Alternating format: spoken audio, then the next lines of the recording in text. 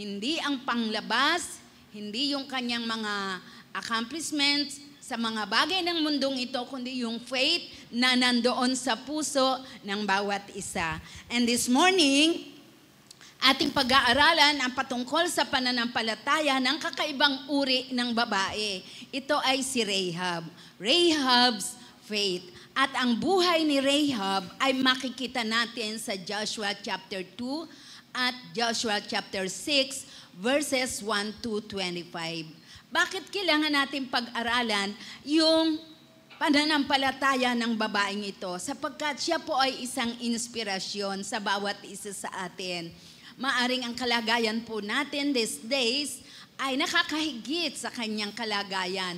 Pero makikita po natin as we go on sa ating pag-aaral, nakakaiba pong uri ang taglay-taglay na pananampalataya ng babaeng ito at kailangan na i-emulate natin for us also to please our loving Father. Rahab's faith.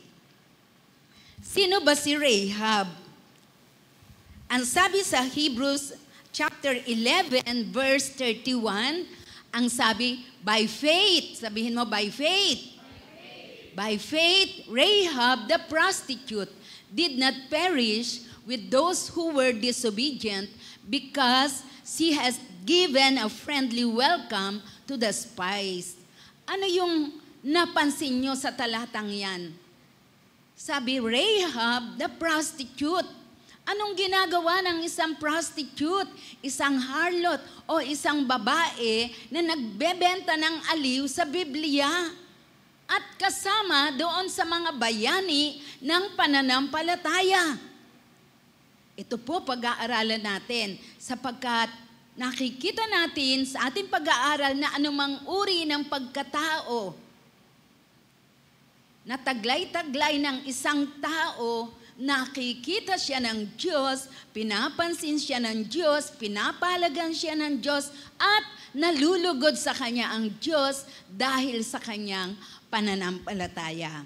Ating pag-aralan, who is Rahab? Ang sabi sa text na yan, si Rahab ay isang prostitute.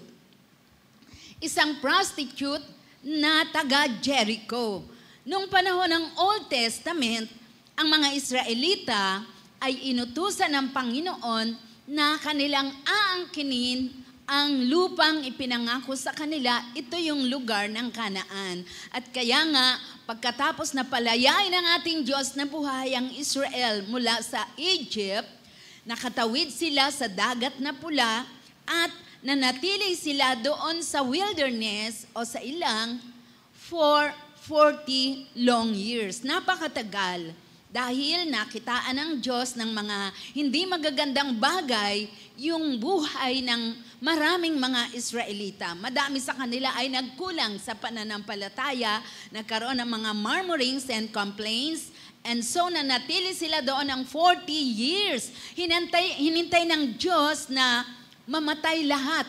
Yung mga tao na nanggaling sa Ehipto from 20 years old and upward. Kaya yung natira lang po after 40 years ay yung pong mga kabataan. At saka yung mga isinilang doon po sa wilderness. So dito po makikita natin na ayaw ng Diyos ng mga tao na kulang sa pananampalataya, yung sa halip na magtiwala sa Diyos, ay merong mga murmurings and complaints sa kanilang puso. And then, nung mahinog na po ang panahon at dumating na yung takdang panahon ng Diyos, inutusan na ng Diyos ang Israel sa pamumuno ni Josue na sila po ay tatawid na sa ilog ng Jordan sapagkat yung pong lupang pangako, yung lugar ng Kanaan na ngayon po sa ating kapanahunan, ito po yung modern day Palestine at Israel. Yan po yung Kanaan sa Old Testament. So, in, um, inutusan ng Diyos na tatawid ang mga Israelita sa ilog ng Jordan, Jordan River, para kanilang maklaim yung lupang ipinangako sa kanila. At alam niyo po, hindi po madaling gawin yung bagay na iyon, lalo nung panahon na iyon. Pero ginamit ng Diyos itong isang babaeng ito na prostitute para po yung spying mission, yung paniniktik na ginawa ng dalawang tiktik ay maging matagumpay at nang sa gayon nga po yung end ng mission ng mga Israelite na kailangan po muna nila na ay bagsak yung city of Jericho. Sapagkat yung pong city of Jericho, pagtawid po nila ng Jordan, doon po sila dadaan papunta sa lugar ng kalawakan po ng Kanaan. Eh malaki po yung city na yon at ang sabi na babakuran ng makakapal na walls, muog, So, kailangan munang ibagsak yon, gapiin ang mga tao yon para malaya po sila na makapunta sa kalawakan po ng kanaan. At yun nga po, sa ating pagpapatuloy ng pag-aaral, ginamit po itong si Rahab na isang prostitute para nga po sila ay maging matagumpay. So ating basahin yung start ng story sa Joshua chapter 2,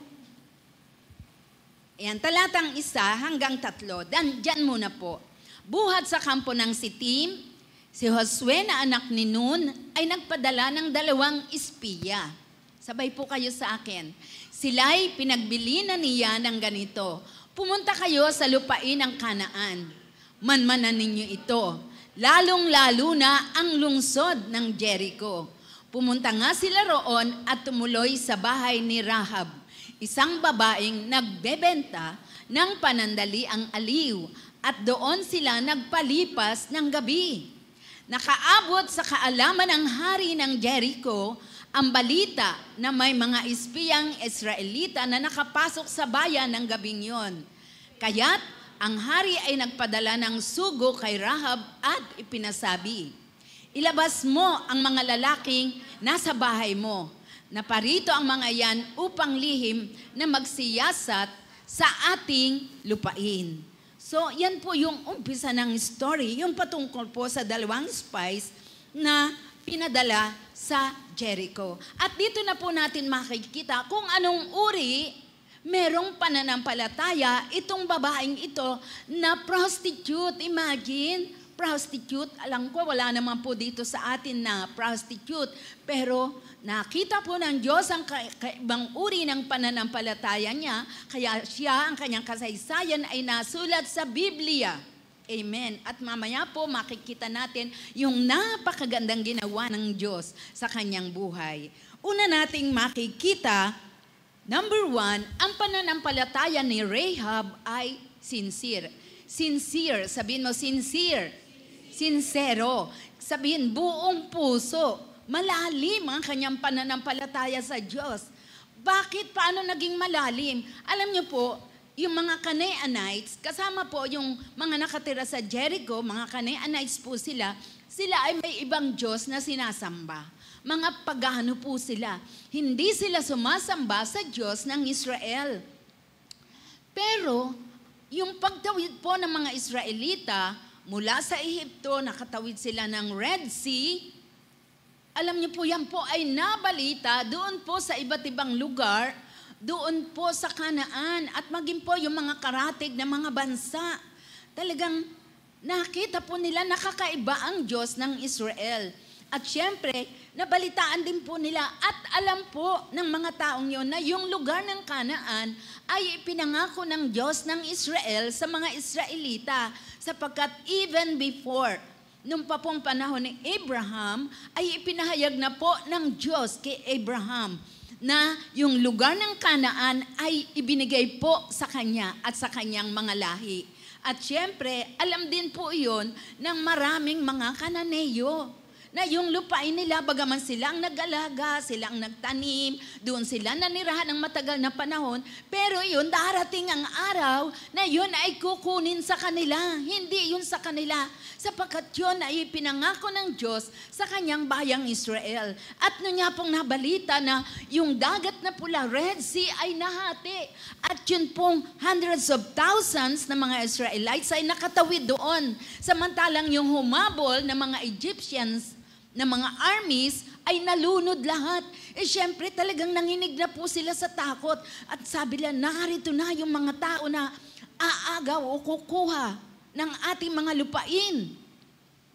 At alam niyo po, syempre 40 years nga po sa ilang, doon sa wilderness, sa disyerto, medyo nawala yung takot ng mga Canaanites. Ayan, nandyan sila sa ilang atino. Hindi naman kinukuha ang ating lupain.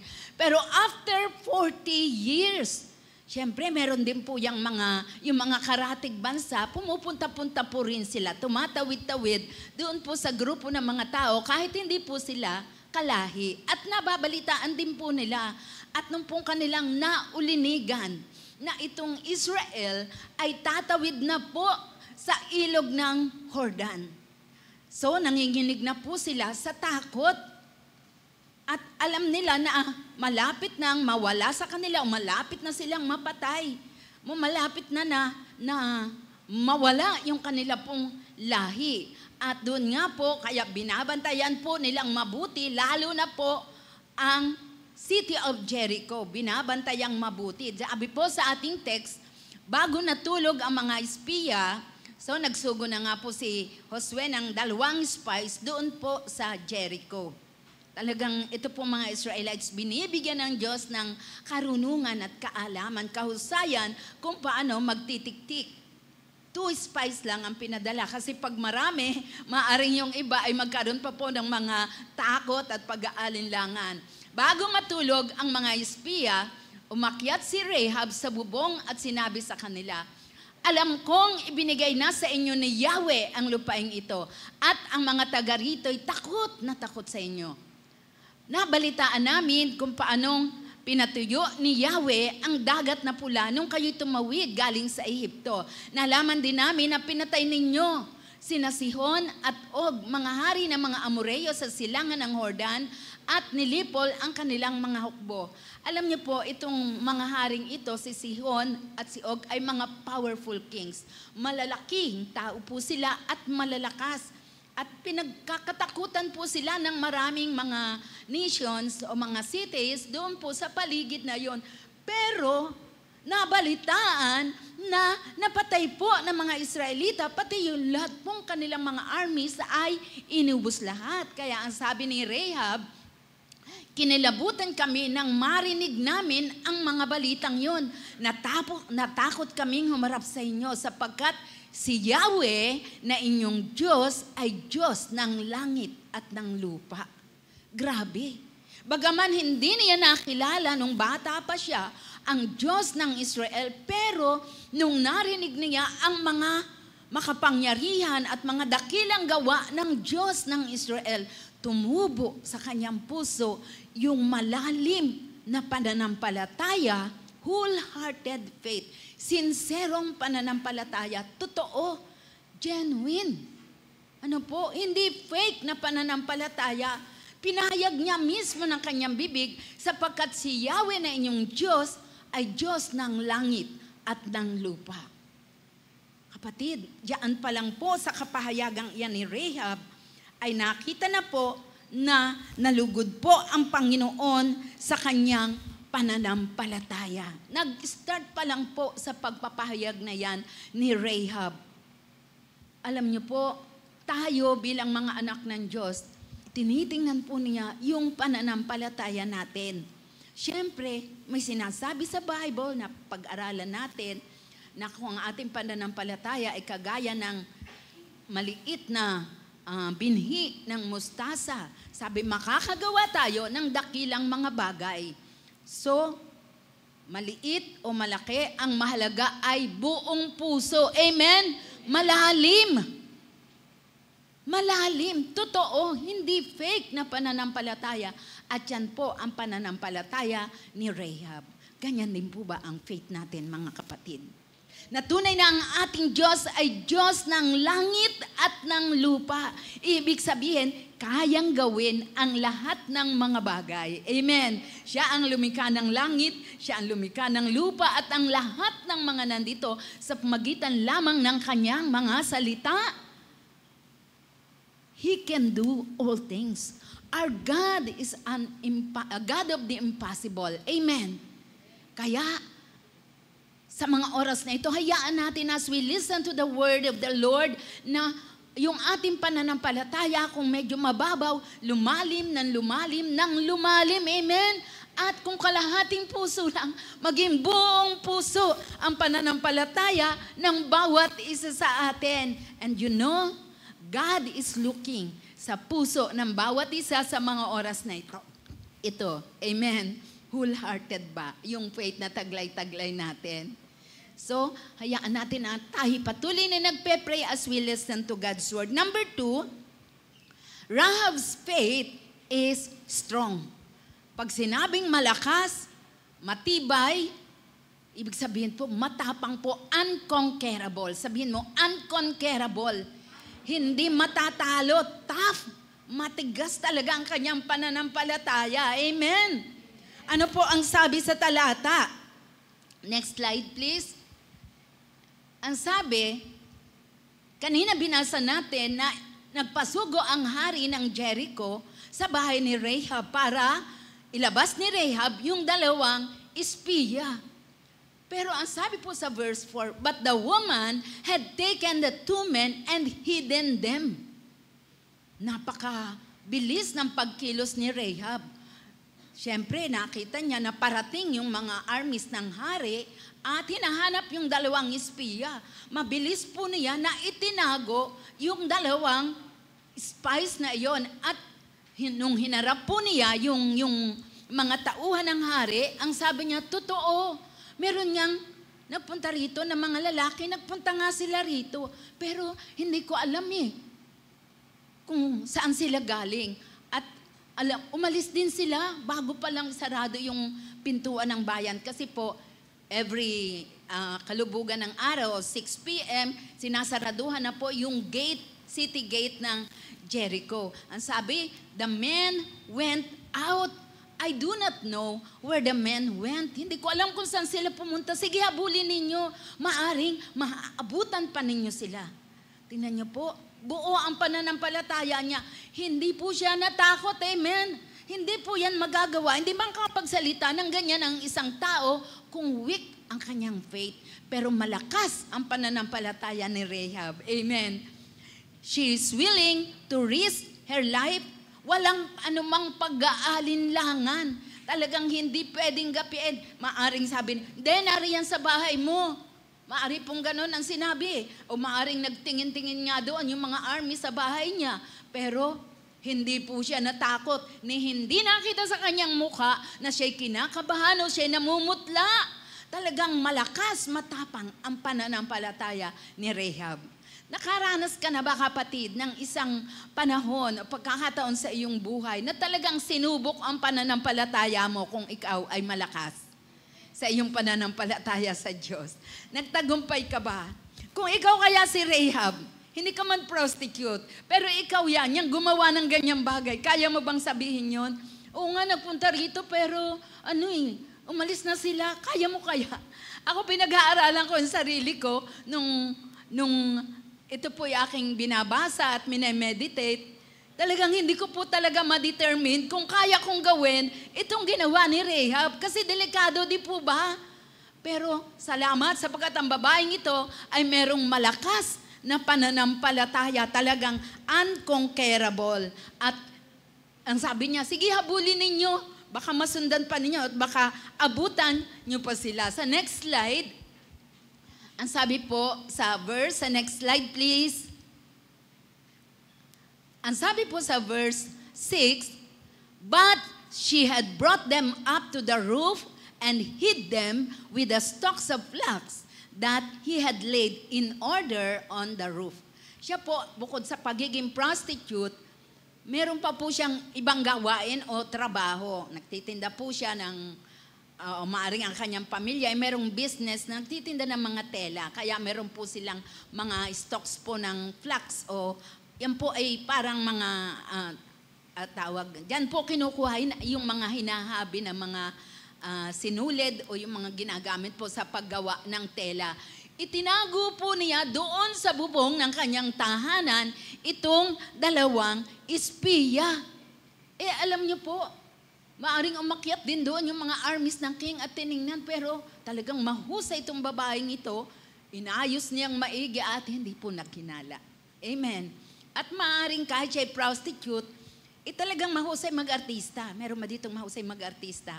Minsan kailangan din mag-artista no? para maging matagumpay tayo sa mga bagay na gustong gawin ng Panginoon sa ating mga buhay. Amen. Ah, hindi po pala masamang mag-artista. Hindi masama yon Basta alam natin na ginawa natin ang isang bagay by faith. At alam, pag-aakay din po yun ng Panginoon eh. Yung po pag-aartista na yon, pag-aakay din po yun ng Panginoon. Ako nag-artista na din po ako minsan eh. Naalala ko po, bago pa po akong Christian, nagtatrabaho ako sa Makati, sa bahay ng aking boss. Nandun po yung opisina. Eh, yung aking boss, may, may dalawa pong anak, merong nakagalit na tao. Sa madalit sabi, pinagbantaan po na yung dalawang anak ay kikidnapin, kukuhanin para lang po bayaran ng aking boss ang napakalaking halaga. So that time, eh ako po yung tao doon sa bahay, saka yung katulong, at saka yung dalawang bata. Alam niyo po, merong kumatok doon sa gate na tatlong matatangkad na mga lalaki. Hindi ko pa po alam kasi 1980s pa po yun eh. Bago pa lang po ako sa Manila noong time na yun eh. Working student ako. At sabi, pwede kami pumasok at aming sisiya sa atin ang bahay. Yun po ang sabi. Pero alam niyo po, nag-artista rin po ako. Kala mo kung sino akong humarap. At bakit po? Meron po ba kayong search warrant? Alam niyo po, hindi ko po alam yung bit lumabas na lang yun sa bibig ko. Hindi ko alam yung mga search warrant na yun. Pero galing po yun sa Panginoon. Eh di syempre, mukhang natakot din yung mga tao, hindi po sila nagpumilit na pumasok sa gate. So kailangan din minsan mag-artista tayo. Amen? Huwag kang, huwag kang magpapakita na tatakot ka. Kaya hindi po nakapasok doon sa bahay at hindi po nasaliksik, hindi rin nakuha yung pong mga bata. Praise God. At ang sabi po sa next verse, ang sabi, Then she let them down by a rope through the window, for her house was built into the city wall so that she lived in the wall. Yun po yung bahay niya. Mostly po, yung mga prostitute ay doon po nakatira sa tabi po ng pader. Yung pagpasok po ng mga tao galing sa ibang bansa ay madaling makita. Naalala po natin, nung panahon po ni, ana, uh, ni Joseph, di ba, meron din po ng mga Israel, uh, uh, prostitutes na mga Egyptians. Mababase po natin sa ibang mga aklat, history books, na nung pumasok doon, yung mga ibang anak ni Jacob para humingi ng pagkain, naghanap po muna sila sa buong Egypt, hinanap po nila si Joseph at hindi po nila makita. So tumuloy din sila sa bahay ng prostitute doon po sa tabi ng wall. Pero iba pong aklat yon, history book po yon, wala po yon sa Bible. So diyan po makikita natin na pagkatapos na kausapin ni Rahab, itong dalawang spies, ay inihugos po niya sa bintana. Napakadelikado po nito kasi pwede pong mahuli talaga siya at pwedeng mapatay siya at ang kanyang pamilya. But because her faith is strong, unconquerable. Talagang hindi mo pwede talagang maigibi, ma, matinag yung kanyang pananampalataya ay ginawa po niya itong bagay na ito at tinuruan pa niya. Sige, doon muna kayo sa bundok. Three days kayo doon. Kasi after three days, maaring bumalik na yung mga taong humahanap sa inyo. Saka kayo pumunta sa inyong lugar. Yun po ang sabi ni Rahab. Praise God. Next slide, please. So, strong faith. Kailangan po natin yan.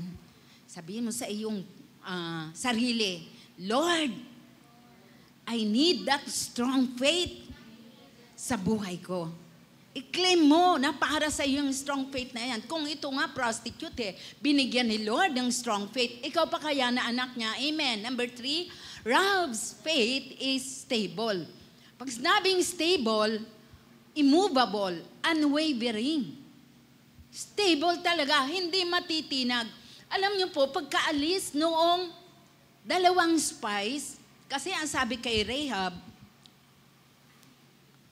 ilagay mo itong taling ito, doon muna po sa unang slide, ilagay mo itong red uh, cord na ito dyan sa iyong bintana at ito yung magiging tanda. Nagkaroon po sila ng kasunduan na ilalagay ni Rahab yung red cord doon sa bintana At yun ang magiging pinakatanda na hanggang sa bumalik ang mga Israelita, ay nandoon yung red cord para mailigtas po si Rahab at ang kanyang sambahayan. Pero hindi naman po pagkaalis ng dalawang spies, eh, babalik na po kaagad sila para yung Jericho ay kubkubin. Naghintay pa po sila ng mahigit na isang buwan kasi three days sa bundok, then tumawid sa ilog ng Jordan, ibinalita kay Josue ang kanilang mission.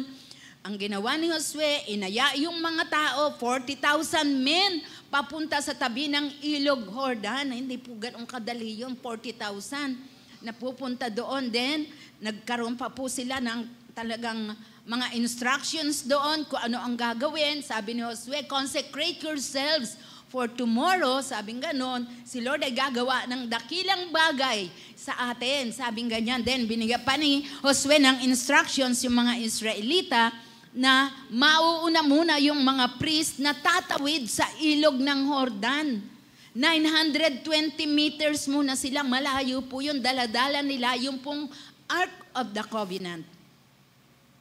Kaya, yung pong mga time na nako-consume sa marami po yun. Then, nung makatawid na po sila ng ilog ng Jordan, ang sabi, nag, nagpa, anong tawag doon? Circumcise. Tinuli pa po ni Josue yung mga armies niya, mga Israelites. Alam natin, ang circumcision, ilang weeks bago gumaling, mga boys, two weeks ba, isang linggo, o para, siguro isang linggo, medyo mahina-hina pa yun, masakit daw yun eh, balita ko lang naman. Siguro mga two weeks pa, then nag-celebrate pa sila ng pista ng Paskwa. Kaya matagal po yun. Then saka pa lang sila nag pasya na pupunta na po sa Jericho. Imagine, stable po ang faith ni Rahab. Siyempre, ikaw ba yung naglagay doon ng tali doon sa bintana na kulay pula at hinihintay mo yung magliligtas sa inyo dahil takot na takot po sila eh. Dahil alam nila papatayin silang lahat pero naghihintay siya pero stable ang kanyang faith.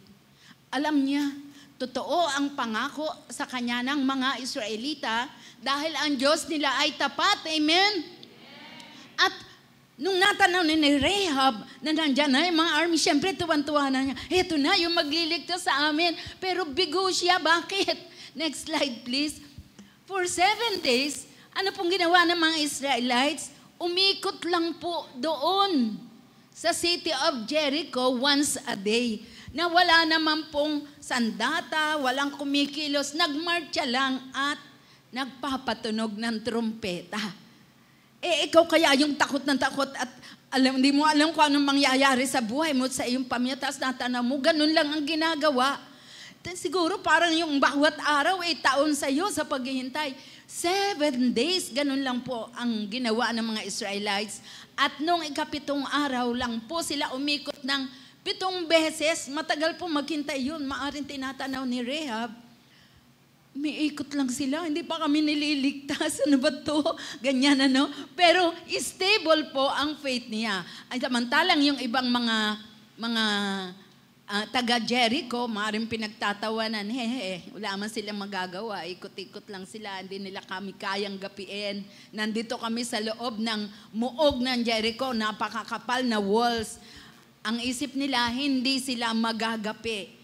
Kapag stable pala ang iyong faith, kapatid, kahit maghintay ka ng matagal na panahon, amen? amen.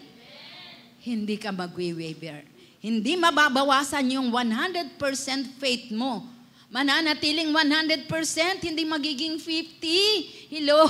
Hindi magiging 20. Naalala ko yung narinig ko pong illustration na yun daw mga ibang gustong mag-asawa, ang taas ng standard pag gustong mag-asawa. Ah, ito, pagbabae, ang standard din niya ay tall, dark, and mayaman. Ano. Pero after na naghintay ng ilang taon, let's say nag, nag 28 years old na siya, wala pa siyang boyfriend. Sige, tall, dark, and basta may trabaho kahit hindi mayaman. Ano? Ay nag-calendar na siya, nawala na sa calendar. Sabi, kahit hindi na tall, kahit hindi na dark, Basta may personality, may mukha, okay na, ganyan. Bumababa yung pananampalataya, hindi stable. Ganon din naman ang mga boys, ano, di ba? May stand, ah, gusto ko matangkad, maputi, maganda, pang stewardess, ano. Tapos sumunod, ah, kahit hindi na matangkad, kahit hindi na long hair, kahit short hair na lang, ano, bumababa. Hindi stable ang faith. Pero ito pong si Rahab, kakaiba, stable ang kanyang faith. Ano yung pananampalataya mo patungkol sa bagay na mangyayari sa buhay mo ngayon? Alam nyo, nung bago pa lang akong kristyano, nanampalataya ako sa Diyos na ang Diyos ko ay tunay na buhay at makapangyarihan sa lahat. At sabi ko, hindi ako mananatili na mahirap ang buhay. Sabi ko sa, sa sarili ko, yun po yung faith ko, na makakaranas din ako ng kaginhawahan sa buhay na pinapangarap ko mula nung ako'y nagkaisip. At glory to God, bagaman ako'y tinawag ng Panginoon, nag-iwan ng trabaho, pati ang mister ko, pareho lang kami, pero hindi po ako nag-isip, ay, kasi mga pastor, mahihirap lang ang buhay, walang allowance yan eh. May allowance man, pangkain lang, ganyan, ganyan. Hindi po ako nag-waver. Pero glory to God. Ngayon, maginhawa na ang buhay ko. Amen? Sa iba, sa standard ng iba, hindi pa maginhawa. Pero sa akin, dahil laki akong mahirap, talagang maginhawa na yon para sa akin at very satisfied. Ang feeling ko, feeling mayaman, yayamanin. Amen. Sabi nga nila, yayamanin. Glory to God. at yun po, tingnan nyo, gaano na, ilang taong ka na naghihintay kapatid? Sa ibagay na yung pinananampalatayanan, huwag kang mag-aalinlangan. Amen. Huwag kang mag-aalinlangan. Sabihin mo sa iyong katabi, sa kaliwa at sa kanan.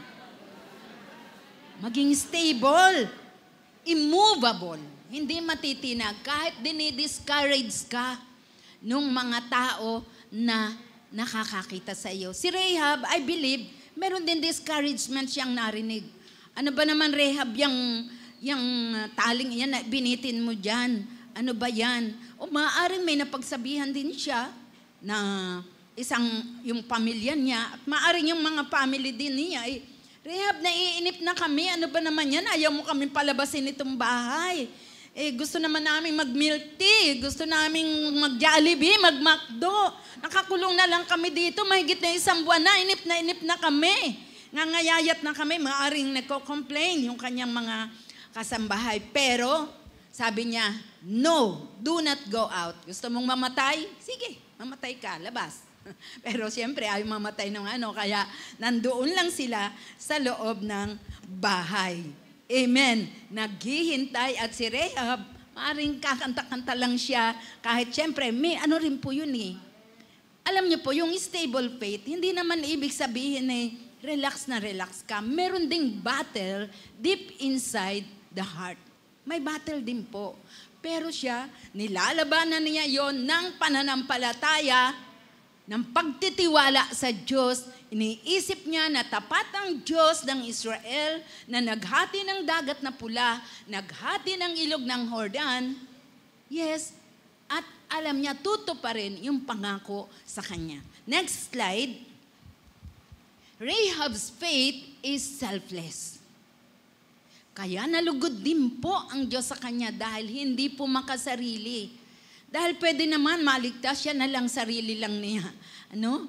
Pero ang sabi po diyan sa talata, sinabi niya sa dalawang spies, Now then, please swear to me by the Lord that as I have dealt, dealt kindly with you, you also will deal kindly with my father's house and give me a sure sign that you will save alive my father and mother, my brothers and sisters, and all who belong to them, and deliver our lives from death.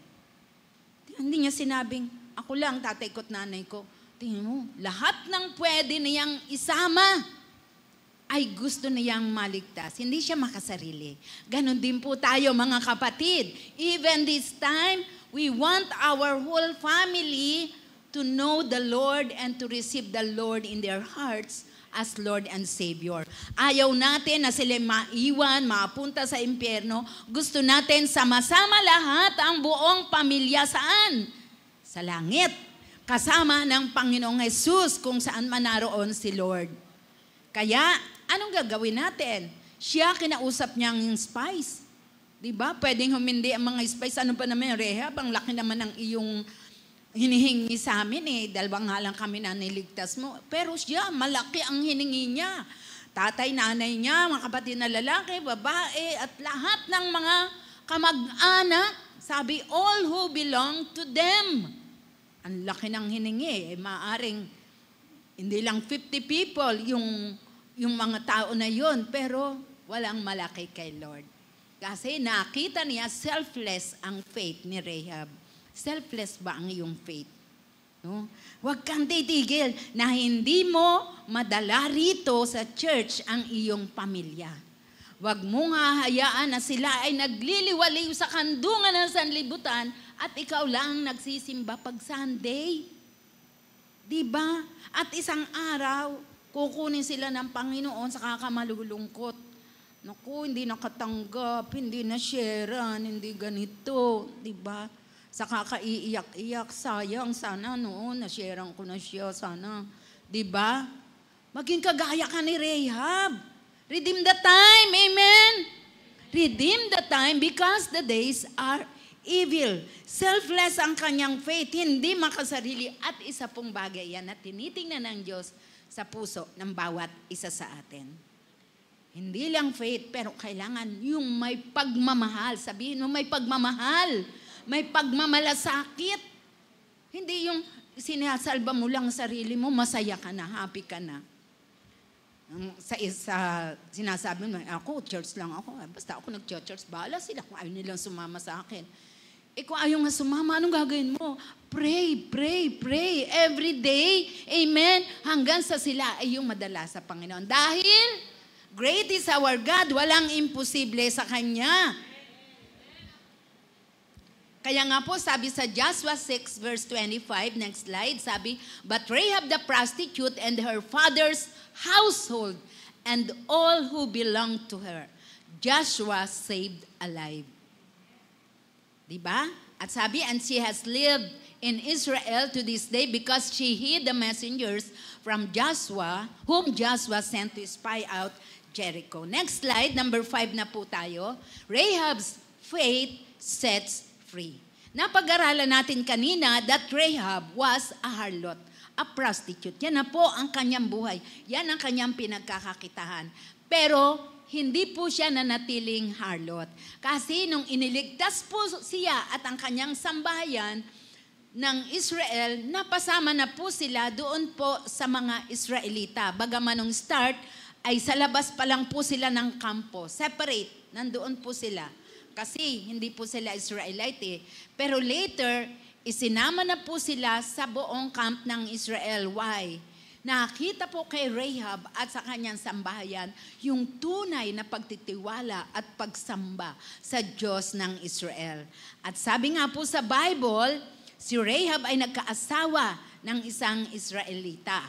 At nagkaanak din po, siya po yung nanay po ni Boaz o Boaz na naging asawa ni Ruth. Kung nabasa na po ninyo yung story of Ruth, siya po yung nanay.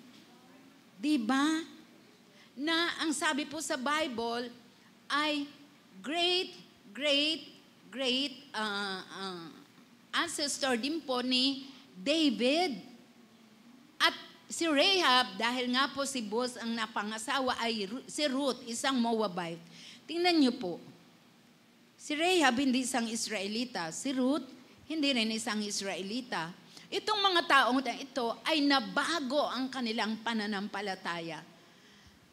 Mula sa pagiging pagans ay natuto silang sumampalataya sa Diyos ng Israel. At kaya nga po, naging ancestor ng ating Panginoong Jesus si Rahab. Dahil kung si David ay galing kay Booz and Ruth, alam natin, ang lineage ng ating Panginoong Jesus ay galing kay David. Bakit? Sapagkat tunay ang Diyos natin ay nagpapalaya. Ano, yung bumibilanggo sa iyo sa mga araw na ito. Meron ka bang attitude na nandiyan pa rin hanggang ngayon? O meron ka bang bisyo? Meron ka bang ginagawa na hindi naaayon sa kalooban ng Panginoon? Sabihin nating bad. Hindi good. Ang Diyos natin nagpapalaya. Amen. Buhay siya. Si Rahab, pwede rin siya magharlot doon sa Israel. Dahil nung pong time na yun, pinapayagan yun. Though mababa ang tingin, pero pinapayagan. Pero hindi po niya pinagpatuloy na maging prostitute. Nagbago ang kanyang buhay because of her faith on the God of Israel. Buhay ang ating Diyos kapatid. Ano man ang ating buhay sa mga araw na ito, bad, pinaka-worst man yan.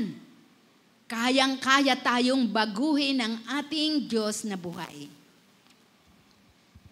Ang dami pong patotoo sa Bible. Si Paul nga ay murderer, di ba? Pero binago ng Diyos ang kanyang buhay. Merong mga magnanakaw.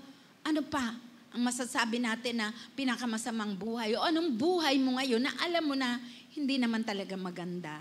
Surrender it to God and allow the God of Israel, the living God, to set you free. Kung paano pinalaya si Rahab, ikaw din ay palalayain ng Panginoon.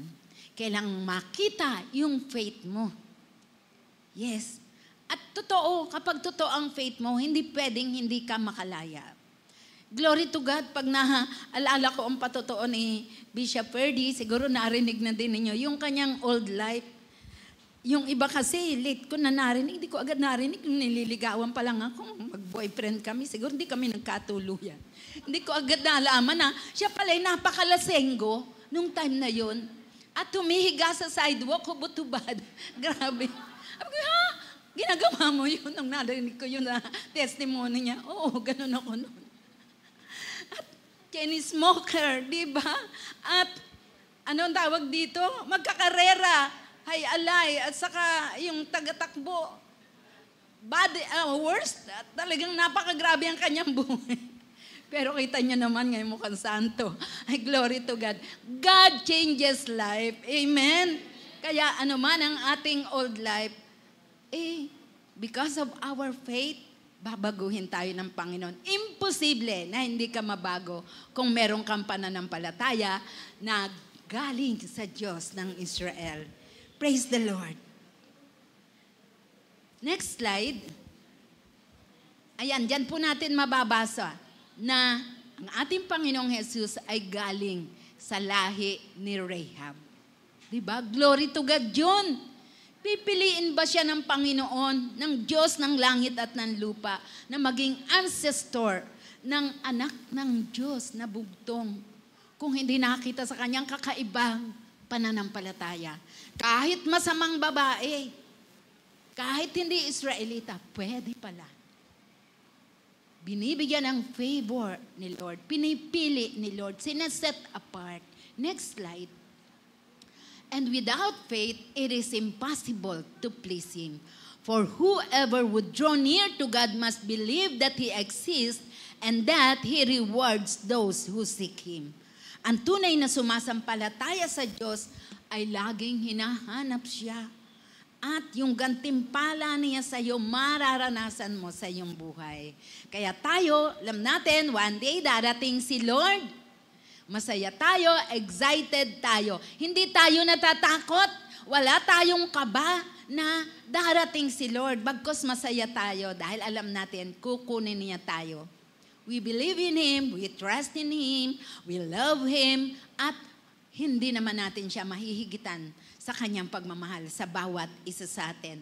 So ano yung five qualities ng pananampalataya ni Rahab? Basahan natin. Number one, Rahab's faith is sincere. Number two, Rahab's faith is strong. Number three, Rahab's faith is stable. Number four, Rahab's faith is selfless. And number five, Rahab's faith sets free. I-claim mo yung lahat ng yan. Nasa iyo yan. Taglay mo yan. Amen? and God shall be glorified in your life. Tayong lahat ay tumayo. And as we worship God with a song, hayaan mo kapatid na patuloy mong maharamdaman yung pag-ibig ng Diyos sa iyong buhay. God's love is so powerful. At kaya kanya